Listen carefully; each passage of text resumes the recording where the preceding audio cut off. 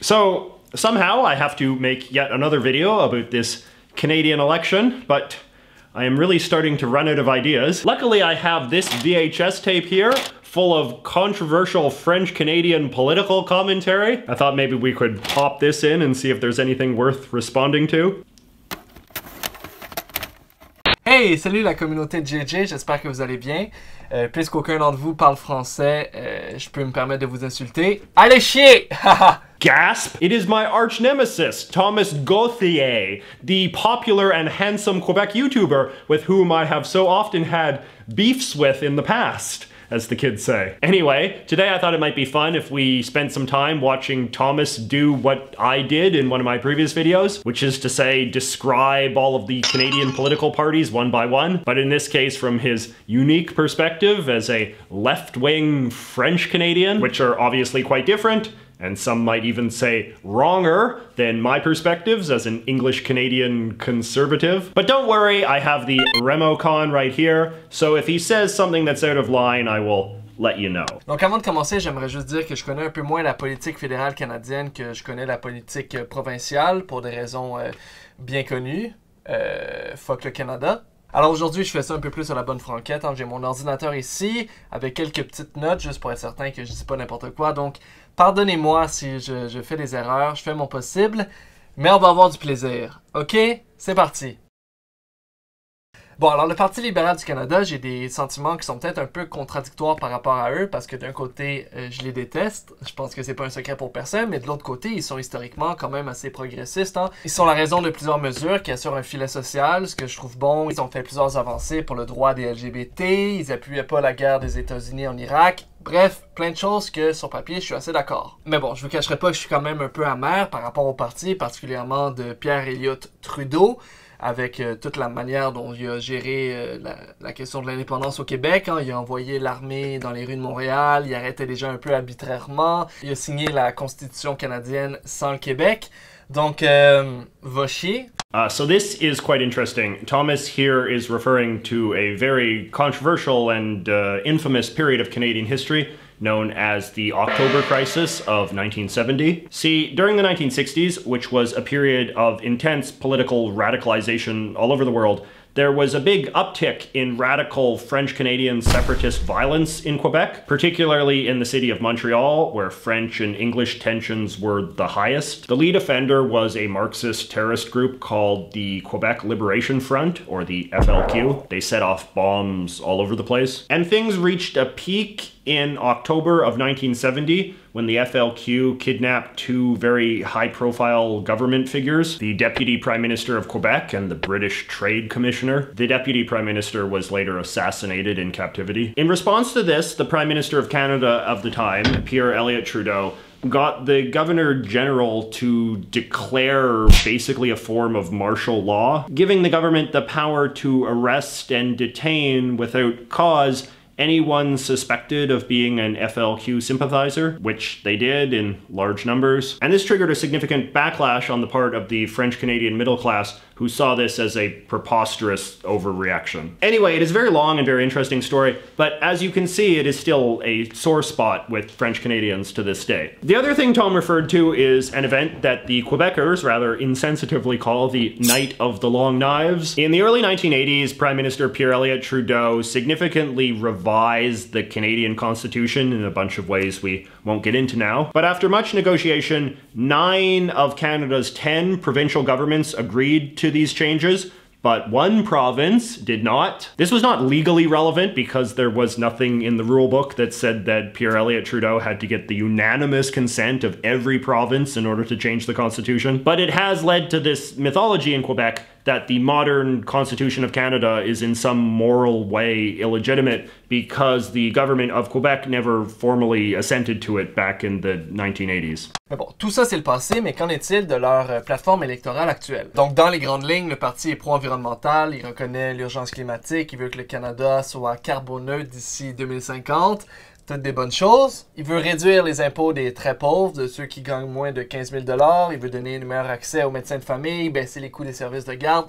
Bref, plein de choses pour lesquelles je suis assez d'accord. Sauf que dans les faits, le problème, c'est que Justin Trudeau, c'est un peu une marde hypocrite, et c'est peut-être quelque chose sur lequel on peut être d'accord, toi et moi, JJ. Il veut à tout prix être centriste et plaire à tout le monde, ce qui, dans les faits, mène rarement à quelque chose, surtout dans un pays comme le Canada où la cohésion nationale, c'est un concept assez euh, discutable, disons. Genre comme JJ et moi on a pu le montrer, il y a quand même pas mal de différences idéologiques entre un conservateur de la Colombie-Britannique et un progressiste du Québec. Et dans le fait qu'il essaie d'être centriste à tout prix, ben Justin Trudeau a pas le choix d'être hypocrite sur plein d'enjeux, comme par exemple l'environnement, où d'un côté il déclare l'urgence nationale, mais de l'autre côté il investit des milliards de dollars dans le pétrole, un moment donné, choisis ton camp. I do agree, basically, with what Thomas is saying here. Trudeau and the Liberal Party in general can sometimes be a bit of ink blot, where people on the left see them as being too right, and then people on the right see them as being too left. The whole oil thing is a very good example. In fact, you could really argue that an awful lot of Canadian politics just revolves around the oil industry these days. On the right, Justin Trudeau is very much associated with a kind of fanatic anti oil extremism, a man who literally wants to destroy the Canadian oil industry in the name of all of his woo woo environmental theories, put all of the hard working blue collar oil workers out of a job. But then on the left, you have people that argue no, he's actually not destroying the Canadian oil industry fast enough. A good example was the Kinder Morgan Corporation's plan to expand this oil pipeline that brings oil from Alberta to the Pacific coast. Trudeau's government bogged the project down with so many regulations that eventually the company just walked away. But then Trudeau's government swooped in and nationalized it to ensure it could continue. And now the left wingers have made you bought a pipeline into one of their go to insults? So it was kind of a bizarre compromise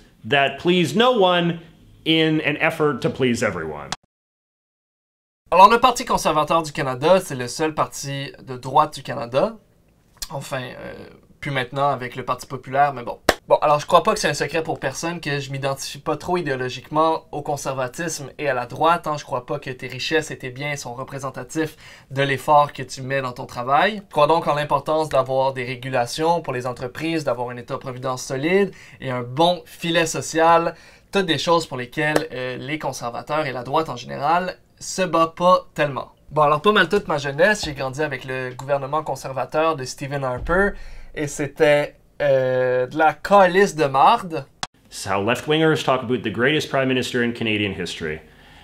Le gouvernement actuel d'Andrew Scheer, euh, je l'aime pas beaucoup, hein. il reconnaît pas l'urgence climatique, il veut la création d'un pipeline de pétrole partout au travers le Canada et il est même euh, pas fermé à l'idée, en tout cas, d'obliger sa construction sur les territoires du Québec, même si depuis toujours le Québec s'oppose à ce projet-là. Et pour justifier ça, Andrew Scheer utilise l'argument qu'apparemment le Québec achèterait du pétrole d'Arabie Saoudite.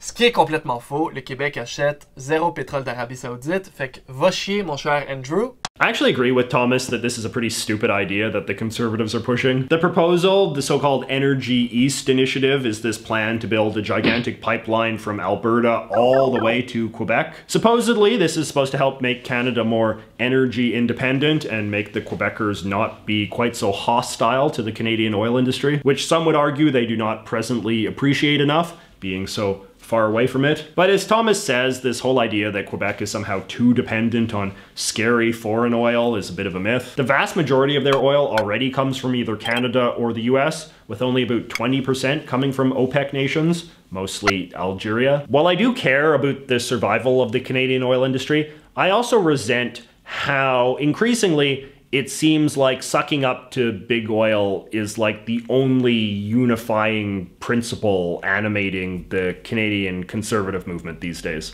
Andrew Scheer veut financer le troisième lien, qui est un pont entre Québec et Lévis. Ça, un peu de contexte derrière ça, c'est un projet de construction de pont qui est très controversé ici au Québec, puisque pour beaucoup de personnes, euh, face à l'urgence climatique, la solution c'est pas de construire plus de ponts pour plus de véhicules sur les routes, mais plutôt de travailler dans les transports collectifs. À la base, l'objectif de ce pont-là, c'est de réduire le trafic dans la ville de Québec. Euh, mais il y a des études qui sont sorties qui ont dit que la construction d'un pont, ça serait inefficace pour essayer de régler ce problème-là. Bref, c'est un enjeu très populiste et Andrew Scheer essaie manifestement de sécuriser quelques circonscriptions chez mes chers amis euh, de la ville de Québec en leur promettant leur fameux pont de marde.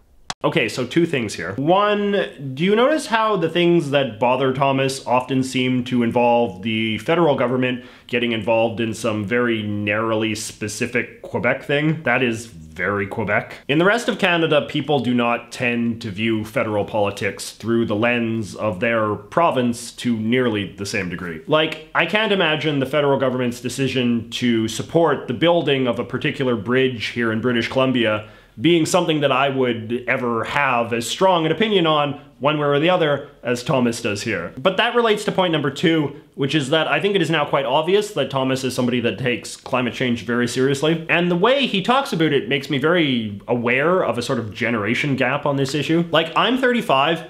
And if I recall correctly, Thomas is about 10 years younger. And what I have really started to notice lately is just how people in their early 20s have so much more acute anxiety and passion for this issue than even people in their early 30s do. Like, even the way he says things like climate emergency, I just don't feel like I very often meet people my own age who use that kind of language, unless they're running for something. I don't know, maybe I'm just living in a bit of a right wing bubble or I'm just getting very complacent as I get older. I do care about climate change, but I just have a hard time relating to the kind of passion that would see the construction of a bridge as like a critical issue in a national election. Bon, aussi, pour les conservateurs, l'avortement, c'est un peu une zone floue. Bon, Andrew Scheer est contre le droit à l'avortement, mais il dit qu'il n'allait pas déposer de loi pour euh, réformer l'accès au droit à l'avortement. Sauf qu'il a également dit qu'il n'empêcherait pas ses ministres de déposer des projets de loi par rapport à une réforme quant à l'avortement.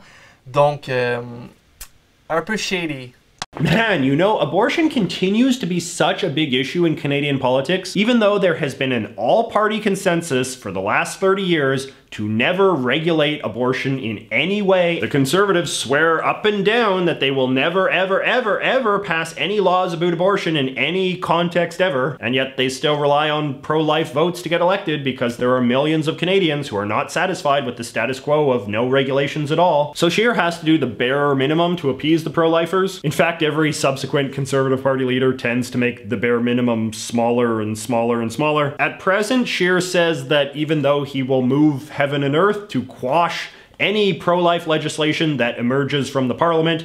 He will not personally oppose any individual member of parliament who chooses to waste their time proposing pro life legislation, which people on the left in turn demonize as proof he has a secret plan to criminalize abortion. Like, literally, this whole stupid debate has been like one of the top three things we have spent time talking about in this campaign. Bon, aussi, Andrew Scheer, um...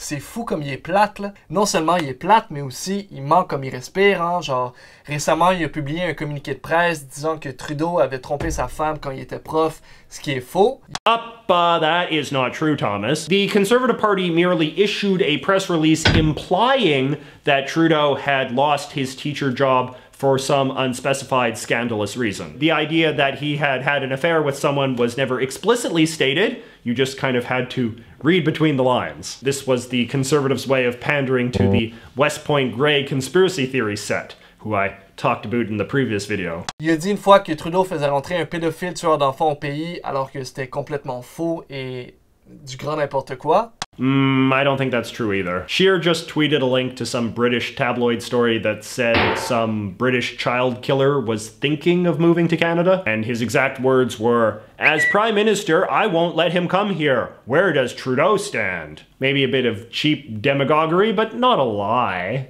Juste la semaine dernière, les conservateurs ont fait une publicité sur Facebook disant que Trudeau allait légaliser euh, toutes les drogues, ce qui est complètement faux et complètement stupide de penser ça. Well, that's just objectively true. Liberals want to legalize all drugs. Everybody knows that. Bref, euh, j'aime pas beaucoup Justin Trudeau, moi non plus, mais j'aime encore moins les gens qui mentent comme ils respirent, et le Parti conservateur, c'est un peu ça. Bon, alors le Bloc québécois, JJ, c'est probablement le parti que t'aimes le plus, n'est-ce pas? Bon, alors c'est un parti un peu particulier au Canada, faut se l'avouer, puisqu'il y a seulement des députés euh, dans la province de Québec. Je comprends que ça peut être un parti qui est assez mal vu dans le reste du Canada, mais je crois que c'est très important de le recontextualiser un peu si on veut comprendre sa pertinence dans le paysage politique Il a été créé dans le contexte de l'échec du lac Meach et de l'échec de Charlottetown, dont le but était de faire rentrer le Québec euh, dans la Constitution canadienne. Euh, et les deux fois, ça a été un échec puisque les Canadiens anglais n'acceptaient pas les demandes de base des Québécois, euh, genre la reconnaissance du Québec comme une société distincte et son autonomie à différents niveaux. So in the 1990s, the administration of Prime Minister Brian Mulroney was very obsessed with this idea of one-upping the old man Trudeau and changing the Canadian Constitution in such a way that Quebec would support. Mulroney's first attempt at constitutional revision was this thing called the Meech Lake Accord, and that was followed by something called the Charlottetown Accord. These were both big, embarrassing failures that went nowhere. The Charlottetown Accord was the more famous one and proposed adding this language to the Constitution that would have declared Quebec a distinct society, different from all of the other provinces, which the Quebecers were obviously very into, but the rest of Canada hated. The Charlottetown Accord was voted down in a big, messy Brexit style referendum, which in turn had a sort of radicalizing effect on different aspects of Canadian politics. As Thomas says, it was used as a pretext to found the Bloc Québécois Separatist Party, but it also pushed the Canadian right in a more populist direction as well, allowing anti-establishment people like Stephen Harper to rise in influence. Parce que c'est important de comprendre que, juste culturellement parlant, le Québec, c'est déjà un pays distinct du reste du Canada. On a notre propre télévision, notre propre cinéma, notre propre langage, notre propre histoire etc. L'Albertain moyen serait probablement plus dépaysé en allant au Québec qu'en allant aux États-Unis. Et sur plusieurs aspects, le Québec ressemble plus à la France qui ressemble au Canada anglais. I can't disagree with any of this. English Canada is obviously vastly more like the US than it is like Quebec. That's actually the reason why I think that English Canada should spend more time trying to deepen relations with the US rather than improve relations with Quebec. The problem is that Quebec wants maximum autonomy from the rest of Canada while also getting maximum financial support and cultural accommodation from Canadian government and law. But Thomas knows what I think. Bon, alors en général, je suis assez d'accord avec les idées progressistes du Bloc québécois. Ils ont une bonne plateforme intéressante euh, sur la transition écologique, par exemple. Mais mon problème avec le Bloc québécois, c'est que puisque c'est dans l'ADN du Bloc de défendre les intérêts des Québécois, sa plateforme dépend beaucoup du gouvernement actuel du Québec et ça donne que le gouvernement actuel du Québec, c'est la CAQ et que la CAQ, ish. Par exemple, le Bloc québécois veut défendre au fédéral la loi sur la laïcité qui a été instaurée ici au Québec, qui est une loi qui veut que tous les employés de l'État en position d'autorité euh, ne puissent porter de signes religieux. Selon moi, il y a quelques débordements avec cette loi-là dont notamment qu'elle a le dos large. Hein. Ça concerne autant les juges que les professeurs d'école qui ont plus le droit de porter de voile sur la tête parce que sinon ça veut dire que tu es en train d'islamiser notre société. On s'entend aussi que ça vise euh, certaines religions plus que d'autres. Hein. Si tu une petite croix que tu peux cacher dans ton chandail, ça te concerne pas. Mais si ça donne que tu as un voile sur la tête, décalisse de ma province. As a Quebecer, Thomas is a bit of an outlier on this issue, which is disappointing because I had been hoping to hear his full throated Quebecer defense. A recent poll showed over 60% of Quebecers supporting the anti wearing religious things law, although I imagine that most of the dissent came from younger Quebecers like Thomas? Même si je suis le premier à reconnaître qu'il y a des débordements par rapport à cette loi-là, je crois que c'est quand même important de comprendre le contexte dans lequel le Québec se situe au niveau de la religion et au niveau de son identité. Bon, alors au Québec, il y a eu un État religieux pendant très très longtemps, hein, jusque dans les années 60, et il a été très dévastateur euh, pour la nation québécoise. Il a été en partie responsable du retard socio-économique des Québécois par rapport au reste du Canada. Bref, quand le Québec s'est complètement départagé d'un État religieux dans les années 70, il l'a fait d'une manière très franche, très intense, et on est sorti avec euh, un petit traumatisme. So this tends to be the go-to defense whenever Quebecers are accused of being intolerant of Muslims or Sikhs or Jews or whatever. Well, you have to understand that we were very oppressed by the Catholic Church for a long time, and that just made us very anti-religious in general. But as they say, that is an explanation, not an excuse. And one of the big problems with Canadian politics, in my opinion, is that our politicians are way too eager to treat Quebec's explanations as excuses in a way that they would never do for similarly prejudiced behavior on the part of other Canadians. A friend of mine made an interesting comment the other day, which is that Quebecers have really never stopped being Catholic they have just sort of become Catholic without the religion, which is to say, this kind of bossy attitude they often have. You know, do this, be this way, follow the rules, fit in or get out, is in its own way very Catholic. Et au niveau identitaire, le Québec a constamment peur de perdre sa culture, de par le fait qu'on est un tout petit peu de francophone dans un océan anglophone avec le Canada anglais et les États-Unis,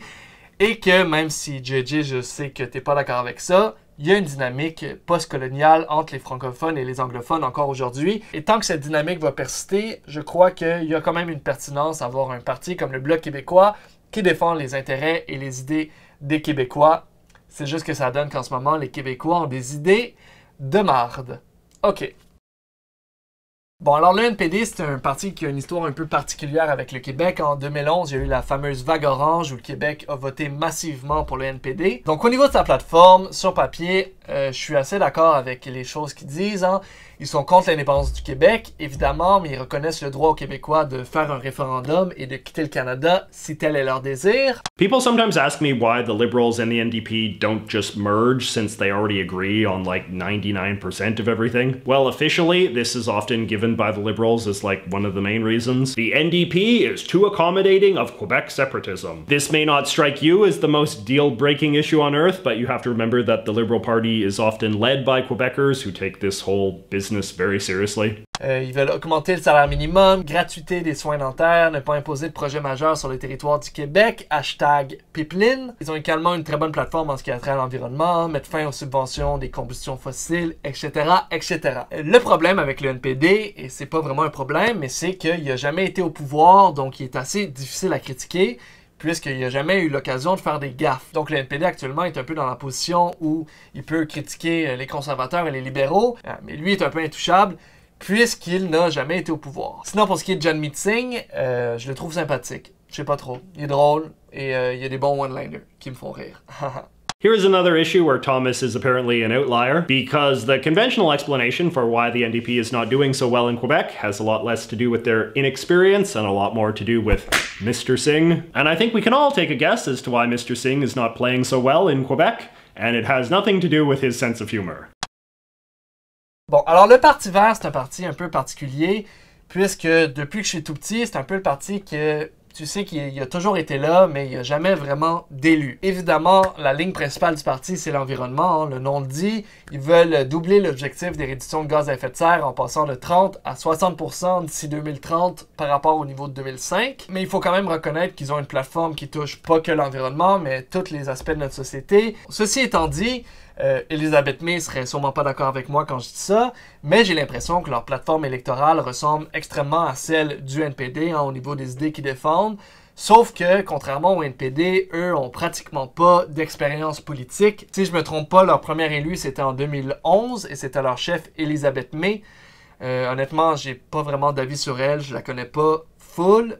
Je sais que JJ tu l'aimes pas beaucoup, donc euh, je serais intéressé d'entendre qu'est-ce que tu as à dire par rapport à ça. Well, then, Elizabeth May is very obviously an egomaniac. She has been head of the Green Party for 13 years, despite being objectively terrible at the job, but she never faces any criticism because she has successfully turned the party into her own private personality cult. The purpose of the Green Party is now just to get attention and fame for Elizabeth May and fulfill her fantasies of being a big, important Canadian politician. Elizabeth May has always been aware at some level that her party is pointless and redundant in the context of a country that already has three left wing environmentalist parties. So at some point, she made a conscious decision to market her party as being less about the environment and more a thing for anyone who just feels sort of broadly alienated from the rigid confines of the existing Canadian four party system. In practice, this has meant that her party has become a magnet for the lunatic fringe of Canadian society, including 9 11 truthers, anti Semites, and faith healers, who now all represent significant constituencies within the Green Party. Anyway, for more on this, please consult my award winning website, OperationTinfoil.com. It currently features 111 reasons to not vote for Elizabeth May and her Green Party. Le dernier et non le moindre, on a enfin le droit à notre parti de droite populiste au Canada, Yes! Ah bon, alors son chef, c'est mon boy Maxime Bernier, qui, il faut le dire, était un ancien député conservateur depuis 2006. Il a perdu en 2018 à la course à la chefferie euh, du Parti conservateur, vraiment sur la peau des fesses, et il a décidé de quitter le parti et de fonder son propre parti. I just wanted to say to all of you out there that if you do not know Maxime Bernier's origin story at this point, that is on you. I feel like this is the fifth consecutive video in which we've told that story. Donc on est dans tout ce qui est le plus classique dans les partis de droite populistes. Hein. Mon boy Maxime Bernier est climato-sceptique. Il a dit que le CO2 c'était pas grave puisque c'était bon pour les plantes. Il a traité Greta de malade mentale. Il veut se retirer de l'accord de Paris, abandonner les objectifs de réduction de gaz à effet de serre, abolir la taxe sur le carbone et mettre fin aux subventions aux industries vertes. Bref, l'environnement c'est un non pour lui. Au niveau des immigrants, c'est un classique aussi. Hein. Il veut réduire l'immigration parce que les islamistes. Et petit fun fact, il s'est peut-être inspiré un peu euh, des États-Unis en voulant construire une clôture sur le chemin Roxham, qui est un chemin où il y a beaucoup de demandeurs d'asile qui arrivent en provenance des États-Unis. Roxham Road is a border area between Quebec and New York that has seen a massive uptick in illegal immigration from the US in recent years. From what I've learned, most of these people are not just frightened minorities fleeing Donald Trump's America, even though I know that that's the preferred narrative. Rather, they are very recent immigrants whose game plan has always been to get to Canada. Apparently, word has spread in recent years that if you want to get into this country illegally, it is easier to just fly into the US on a visitor's visa and then attempt to cross the land border rather than fly into a Canadian airport directly where security is a bit tighter. Anyway, this is another issue that has been heavily weaponized by both the right and left alike. Liberals point to the border crossers as proof that America has descended into some sort of Handmaid's Tale esque dystopia, while right wingers like Bernier use it as a pretext to demagogue about an immigration crisis and play, as Bernier once said of one of his own political opponents, karaoke Donald Trump. Bref, je pense que c'est sans surprise euh, que je vous apprends que j'ai un peu honte euh, qu'il soit reconnu comme un parti officiel au Canada. Au moins, je peux me consoler en me disant que la montée d'une droite plus radicale, euh, c'est un mouvement international en ce moment. Il y a ça partout en Europe et aux États-Unis. Et aussi que peut-être que son parti va pouvoir enlever quelques votes aux conservateurs. Et ça, c'est bien. D'ailleurs, Maxime Bernier dit que son parti représente les vrais conservateurs. Donc, euh, je suis quand même curieux de voir c'est quoi ta position, JJ, par rapport à ça, puisque je sais que toi, tu es un conservateur. Uh, well, I have never liked or trusted Bernier on a personal level. I think he has a lot of serious leadership deficiencies and mostly has himself to blame for the fact that his party is not doing well. But I do think that on paper, the People's Party is probably a lot closer to offering what the base of the Conservative Party wants in terms of immigration cuts and just flatly not doing anything on the climate change file than what the Conservative Party under Andrew Scheer is offering. But the party hasn't taken off because Bernier is Bernier and because conservative voters in this country are just so rigidly pragmatic compared to left wing ones and are just so paranoid about vote splitting. But assuming Scheer isn't elected prime minister on Monday, it is very easy to imagine a Bernier like person becoming head of the Conservative Party someday. I mean, as we all know, Bernier himself very nearly did. Et voilà mon avis sur les différents partis, mon cher JJ. Euh, J'espère que c'était pas trop décousu. Euh, bonjour à ta communauté. Je vous aime beaucoup. Je vous adore. Ok, bye bye. And we love you too, Thomas. And thank you so much to Thomas for helping me make this fun collab video. If you're interested, I helped Thomas make a similar video to this one for his channel, so you might want to check that one out too. And just a reminder that on this coming Monday, October 21st, I will be doing a super special live stream of the Canadian election. I'm actually planning to stretch it out into a super special all-day live stream, so if you have any free time, be sure to check it out because I'm sure I will be quite bored for significant chunks of it. And lastly, even though this video is running long, I did get this parcel in the mail today, which I believe I am contractually obligated to open on camera. It's a letter from Susan. It says that I'm very great. Oh ho, and here it is. Presented to JJ McCullough for passing 100,000 subscribers. Ooh, it's so beautiful. Look at that. Uh, you can't see, but the, the, the button part with the arrow on it is a, is a perfect little mirror. Wow, it's a really sharp mirror too. Could shave using this. So this is amazing. Very big milestone for the channel. I literally could not have done it without you, so thank you so much. Now, the only question is where I can find some space to cram it.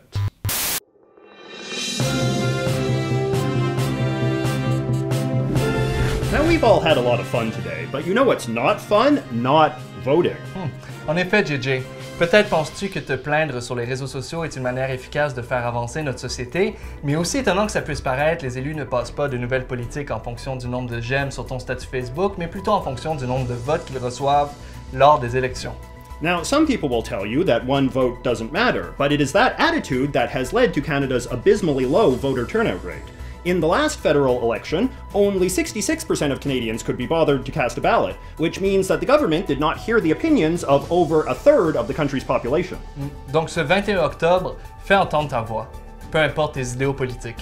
Whether you are a far left Quebec extremist who hates Canada, Ou juste un trou de cul, uh, we should all be able to agree that it is important important to vote. voter.